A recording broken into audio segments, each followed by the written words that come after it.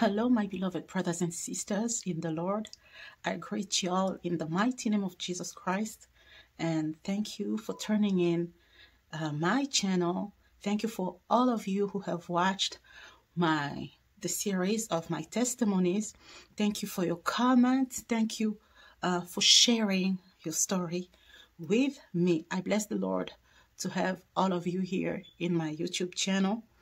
And I wish you all a happy holiday and may God be with you during this um, end of the year season. May the hand of God protect you and all your families in the mighty name of Jesus Christ.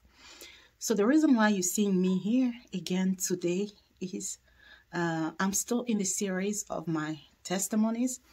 In one of my videos, I said that I was going to come back and talk to everybody about some of the false teachings. So if you haven't watched um, this video, like here, I'm going to put the link in the description box so you can watch it.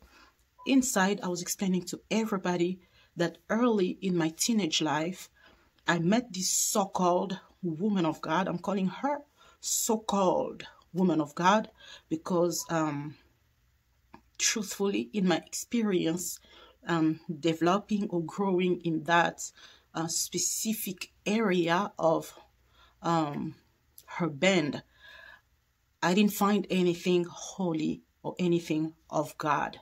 All I found in that um, in that place was um, either half truth or just living for God by our like by tongues, so not by by works. Amen. But we are called to live for God in our everyday life, to honor the Most High God with our works, with everything. Because the Bible says, May everything in me praise the Lord. Hallelujah. So I mentioned that I was going to come back and share with all of you uh, some of the teachings that was falsely and you may come across those teachings today there are people out there like talking about those false teachings. And if you are not vigilant you can be led astray by these false teaching but they are of the devil and they are of the jezebel spirit to lead as many christians astray. So one of the sister here in my youtube channel may god bless you my sister. I'll put her comment here. She came across one of my videos as she was watching these videos, she heard where I said that I was going to come back and debunk all those false teachings, but I'll do it little by little. I know sometimes it takes a while for me to come and do a video. Why? Because when I say that I will be back, I'll come back to do this video and then life happens. I get busy with life and just a lot of things, work and all that. And this takes years, like usually years for me to come back. But one thing I understand, it is the will of God uh, to bring me in front of you in a certain period so that I just don't come for visibility. So I just don't come to show myself to you, but so that I come with a powerful message to lift your spirits up or to bring you closer to, to the Creator. So may, excuse me, may the Lord God bless you and thank you for joining us today. So, one of those preachings, I'll just go straight ahead. One of those preachings was this woman, she would tell us first, this is um, the first one, because today I'm only debunking two of these teachings that can help you if you come across someone who's um, saying those things just so you know the truth. Amen. So this woman would tell us, you can literally live a sinful life every single day because remember, we were in a band, so a gospel band. We were singing, dancing, performing, ministering in churches, in TV shows. Yes, but not for the glory of God. It was all for for fame. It was all for um, control. Like there was a lot of reasons behind it because uh, finally God has finished that's band. So like today, it's no longer exists because it wasn't of God. It was only using the name of God to entertain. But in reality, a lot of things that was happening in there wasn't of God. And you can see that even today. There are so many people who think they are pleasing to God, who think they are singing for the glory of God, but they are singing for their own glory, for the, the self, like to, like um, those people who have made the talent or the gift like an idol. So they become idols. They, they call themselves stars. Like they are no different with secular musicians. Amen. So one of the teachings I received was you can live a sinful life. You can. So when I'm talking about sinful life, you know, guys, there are this list of sins that are listed in the Bible, and the Bible addressed them as sins. Amen. I know these are the things that the world try to make them look um not that heavy. You know, like they would call adultery an affair. They would call fornication um I don't know like just just having a friend you know, dating. So it's not fornication, but it's just dating. A good friend of mine were dating, and they would call like homosexuality um, gay. So they have those vocabularies to make light of the sin. You know what I'm saying? The things that the Bible lists as sin, as sins, I mean. So the world has really some uh, vocabularies to make them really look cool or light. Yeah. So I will pick one of these vocabularies. For instance, she would tell us, you can fornicate, you can, um, like, you can um, be uh, unrespectful to people, like, you can be pride, you can do this, you can do that. But remember one thing before going up on stage to sing, that is the time when you should come and confess your sins to Jesus and ask for forgiveness. And there, God will always forgive you. And when He forgives you, you go on stage to perform or to minister, then God will manifest Himself because you just made peace with Him right before going on the stage to perform or to sing. Like You've already made peace with God, so He will be there. The glory of God will still fill the arena or will fill the place. Just make sure, even if you are living a sinful life, that you come to to do like your forgiveness prayer unto God right before you go on stage. So let me tell you something about that. There are so many Christians today who, who think they can just live um, a sinful life from Monday to Saturday. And Sunday morning, they can go to church, confess their sins, they will be forgiven.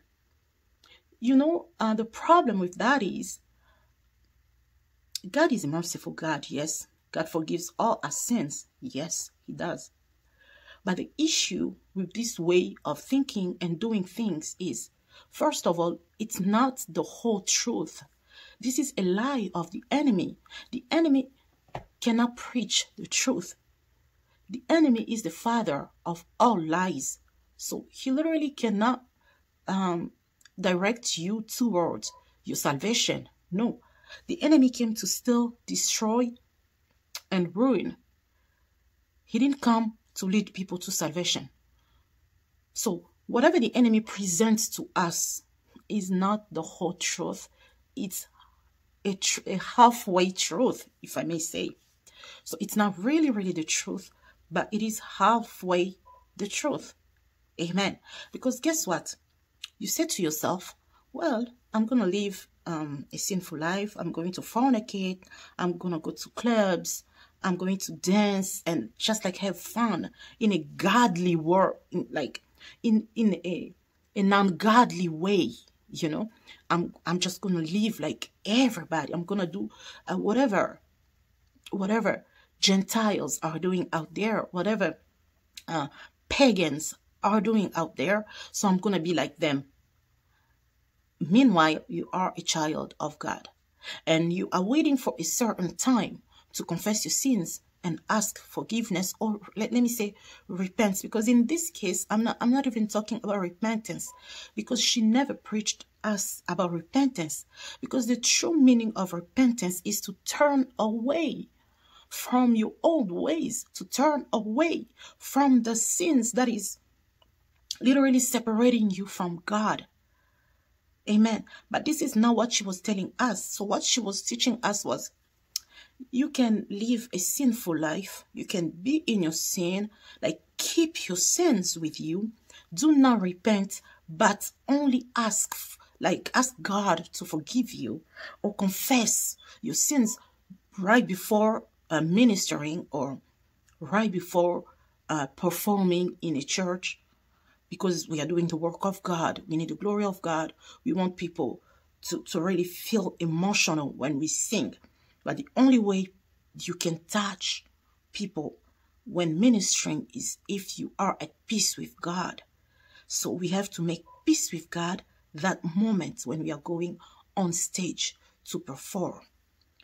We have to be in agreement with God. After performing, you can go back to your way of living. You can go back to your life and do whatever that pleases to you. That is literally what we were told. And you know, the big danger is what if that Sunday that you are waiting to come for you to go and not repent but confess your sins doesn't come and you passes away? What is going to happen to you if you die in sin? This is where I found um, her preachings being of the enemy because those preaching was literally um, trying to seduce the people who were following her, the people who were in her band, to remain in a sinful life and not even bother to repent. So, my brothers and sisters, you need to know there is a huge difference between repentance and confessing, confessing our sins. There is a big difference. You may confess your sins, but if you do not turn away from them, it's just like you confessing your sins to God, you ask for forgiveness, and the next day you go again live on the same roads, on the same ways. You're going to do the same things. You trust me, this isn't repentance. This is not repentance. Amen. This isn't repentance. And if we don't repent, from our sins and that the Lord comes or our day, like our final day comes and we are found in those sins, we will not see God. I know He is a merciful God, but there are these sins that the Bible has already listed as sins, and we know, we really, really know these are sins, like premeditated sins. We know these are sins, and not even if but just let's assume that the Bible wasn't there. But we have the moral law. Like every human being, you can be arrested for stealing. You can be arrested for causing trouble into a marriage. Well, here in America. There are so many things that even the worldly law, like the laws in this world, in every country, define as wrongdoings and those things are wrong, are morally wrong, like prostitution, solicit soliciting prostitutes, like it's illegal, all those things. If the institutions of this world can classify those things as um, illegal activities and punishable by law, how about the Most High God? Hallelujah. And there are things like this, we already know these are sins so let me tell you something. Do not allow anybody to come and tell you you can dwell in those things. You can do all those things, but make sure you just confess those sins to God or to the priest or to whoever, I don't know, on Sunday Amen. Because death can find you in the middle of the week. Where are you going to go if you die in these sins? Hallelujah. If you are not strong enough to quit, to turn away from all these sins, I won't encourage you to keep on living in sin, but I will encourage you to plead upon the grace of God. And I know He will help you get out of there because you are pleading for a reasonable cause. And God will help you get out of there. Hallelujah. And the second thing was this woman could make us come and confess to her. So she wanted to know everything we were doing. Why? Because the spirit that was working within her was the Jezebel spirit, a controlling spirit to control people's mind. And whenever she knows that your hands are now dirty and she has something to hold on to you, she will use the things you confess to her to try to drag you uh, down or to keep you like in her circle. Because she will threaten. I've seen some people who really um, just undermined her. Because this woman um, was really working in the Jezebel spirit, like controlling people she can come gossip with you and take only what you said, publish it if you do not agree with her. In some ways. And she knows everybody expects her to be um, to be a crazy person. So everybody expects something wrong from her. But you, nobody expects to see something wrong in you. So when she talks about you in public that you did this and that with her. So people will be more surprised that you too have been doing this with her. You know what I'm saying? So this is the kind of person she was. And she would try anything to ask you questions, to just to know whatever you've been doing, whatever you are up to, just so she can cut you with dirty hands and that she can use those allegations against you once you try to break with her, once you try to get away from her. And let me tell you something this is actually some of um, the manifestations of the Jezebel spirit. God willing, I'll come back to talk to you about all the manifestation manifestations of the Jezebel spirit, the characteristic of the Jezebel spirit. Amen. It's not a subject for today, so I won't go over it. Amen. So like like I was saying, this is how this woman was operating. And for that, I have something to tell you too. Only God can forgive your sins. There are some of the sins God will tell you to go and confess them in public, but some God will tell you. So there are a criteria of sins that God wants people to confess in public. Like if you were involved in witchcraft, so things like that, you have like armed so many people, cause armed to like family. God will allow you to go speak up so these people can heal. And so yourself can heal too. And the way God uses, excuse me, and the way God uses this method is mostly through testimonies. So you see, most people who were involved in witchcraft, they finally or they eventually have to come and confess publicly whatever they were doing in the dark because it's a part of their deliverance. So that, that confessing is a part of the deliverance. Amen. But don't allow anybody to come and tell you you have to go and confess your sins to them. No. Listen to God. God talks with everybody. He knows all his children and he speaks to them through his words. Read the Bible more often. Just read the Bible more often. People will not play with you. Amen. The third thing, third thing, so I said I was gonna only talk about two, but I'm going actually to add one more and then later I'll talk about another one, God willing. So the the other the, like the third thing was so she would tell us that God is so graceful, He is so merciful, He is so love. Like whatever you do, God will always forgive you because we are living uh, under His grace and we are like this time or this period or this era, we are under the grace of the Most High God. We are under um, His grace. So, like, whatever you do, God will forgive you. And she would, like, she would base herself on this scripture that I, I don't know if it was a, a scripture, but she would just say, like, every sin is a sin before God. Every sin is a sin.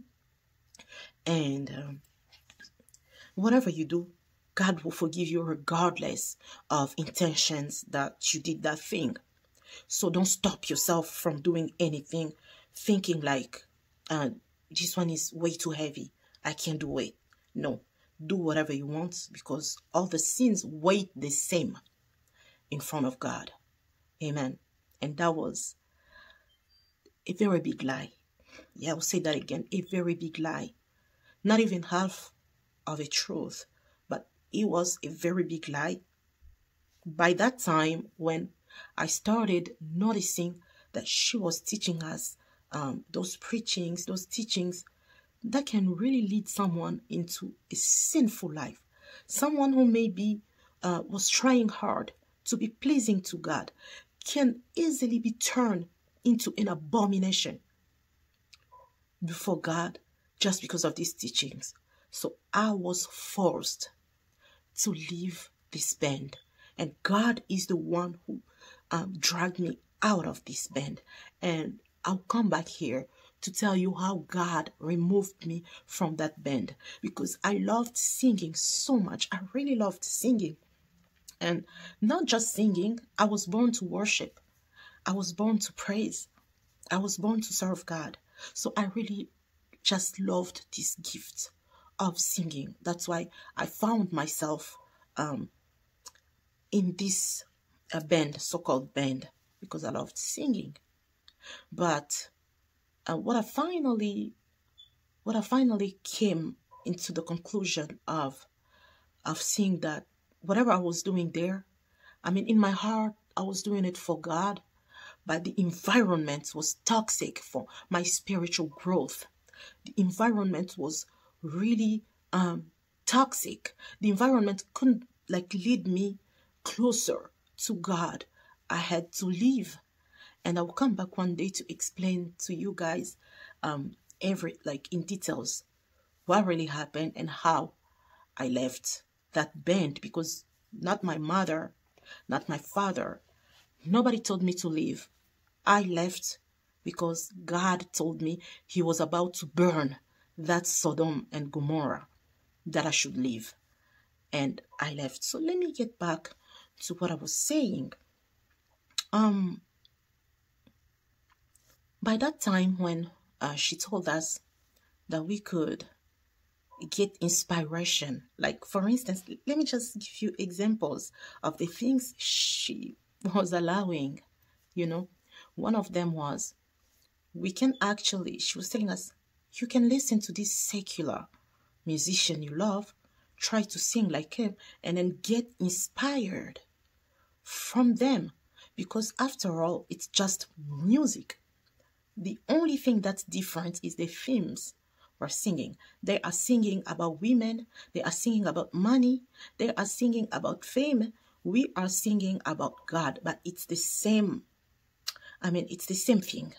They use guitars, we use guitars. They, they go to recording studios, we go there, and sometimes we use the same recording studios to record. So we can listen to secular music to inspire us. And one other thing, if I can pick, for instance, she would say, um, like the per- you can abort a baby, you can abort a baby right after abortion. You can ask God forgiveness. You can confess that to God. He will eventually forgive you because He is a loving God. So when when uh, she started talking about abortion, I was really so offended. at the time, uh, at the time, my brothers and sisters, I was 16 years old.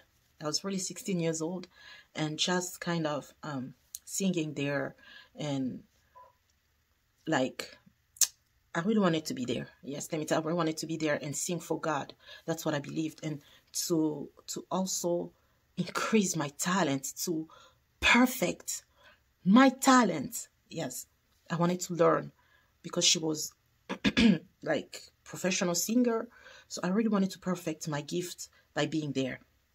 And this time when she started giving examples and she mentioned the abortion, saying that the person who commits abortion and the person who just insults someone, they will all be punished by God and they will get the same punishment.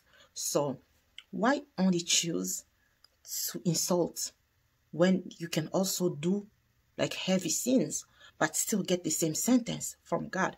And she uses this she uses this example of let me tell you, I don't want to mention the names, but she said, like we have here in Africa, like secular musicians who are selling their souls to the devil to get fame, but they do not sell all of them. You know, they do not sell all of their souls. Like American, there is this American musician, uh, MJ, I'll say M, yeah, MJ. MJ, you go figure out. MJ, I don't want to mention his name here. So MJ, he sold his soul. He is rich, like in in the um, like in the world scale.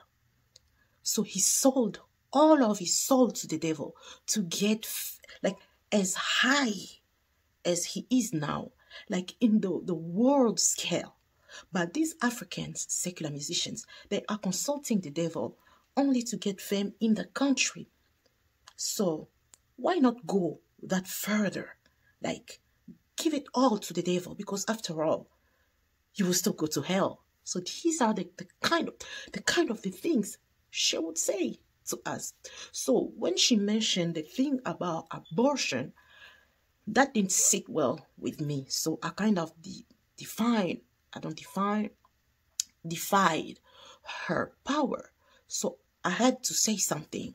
Then I opened up my mouth. I told her, You know what? You are not helping us.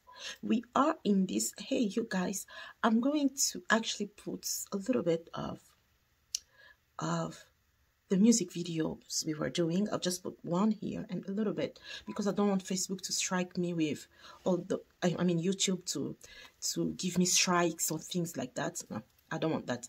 I'll just put a little picture here some of you who are from the Congo, from my country, you will recognize um, the band where I was singing. But if you are not from the Congo, you might not recognize. And that's okay because I'm not doing this video to trash someone. No, I am doing this video to tell you you are set aside for the Lord, for God's purpose.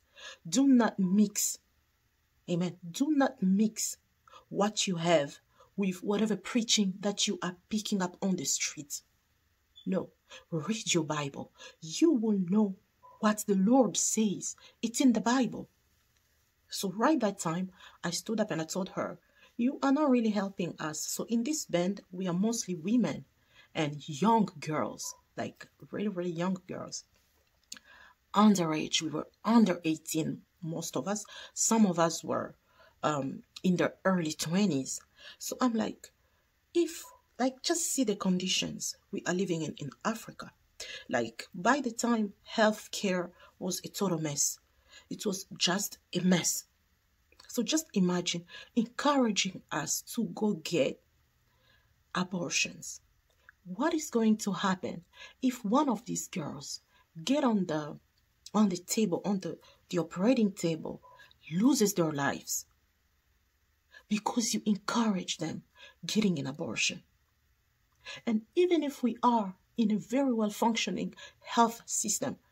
As a Christian, I wouldn't advise a person to go get an unnecessary abortion.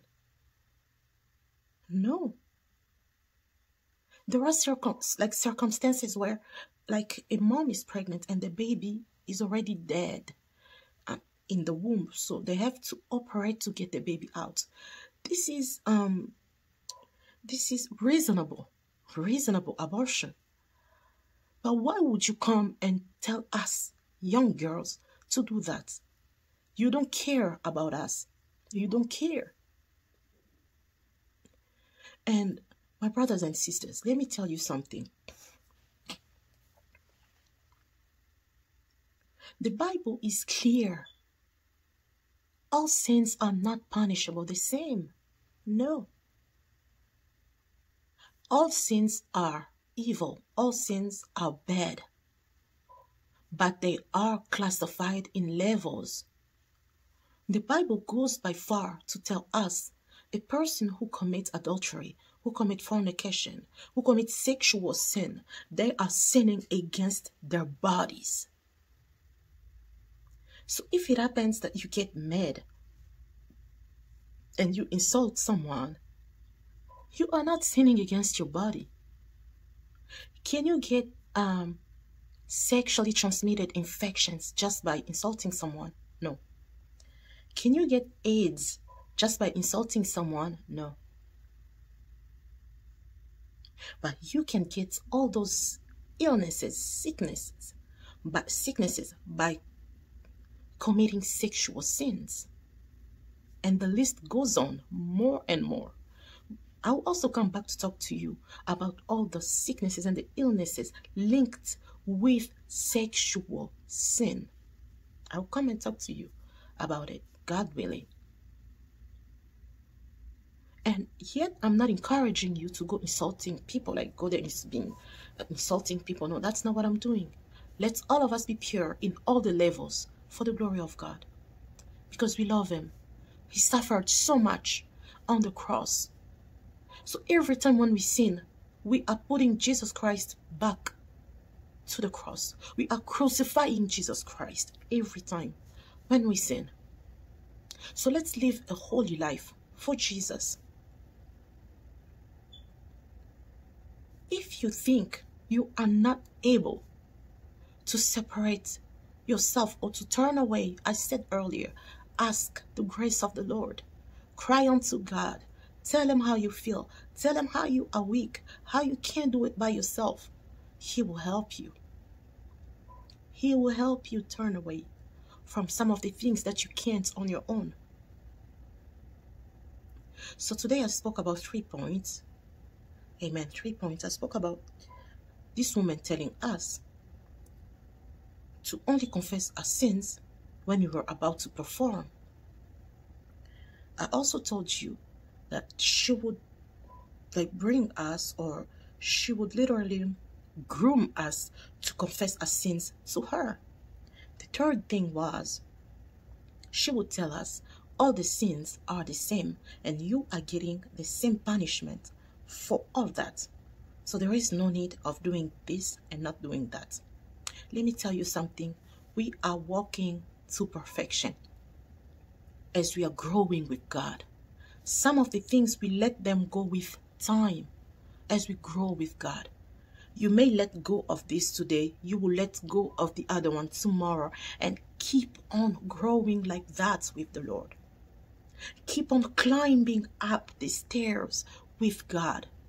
Don't stay only on the first level since the day you've given your life to Christ. You are still dealing with those sins. You do not want to let them go. I know we will not become perfect the first day we give our lives over to Jesus, but this is a process. The Christian I am today is not the Christian I was in 2018, in 2015, in 2012. I have grown a lot in my walk with God. There are some of the things I had to let go for His glory, and there are more He will lead me to let go until He comes back. So let no one, nothing, nobody stop you from experiencing the love of God in your spiritual growth, the mercy of God, His grace. Living under the grace doesn't mean we have to keep to hold on to a sinful life. No, that grace of God should help us get rid of all these sins, separating ourselves from all wrongdoings and trying to walk in Jesus Christ's path. So I said it's a process. God does everything little by little as He is perfecting us for Him. Just allow the Holy Spirit to work in you. Allow the Holy Spirit to do the job, and He's going to do it perfectly. May the Lord God bless you. Uh, I'll hopefully come back to speak more and more on the things I'm promising to explain to you. So stay blessed, stay safe. May the blood of the Lamb cover all of us, and may your year 2024 be a wonderful year. Don't forget to subscribe to my channel if you like this video and share the video to your friend and family. And also stay tuned for my upcoming album single album. May god bless you. Bye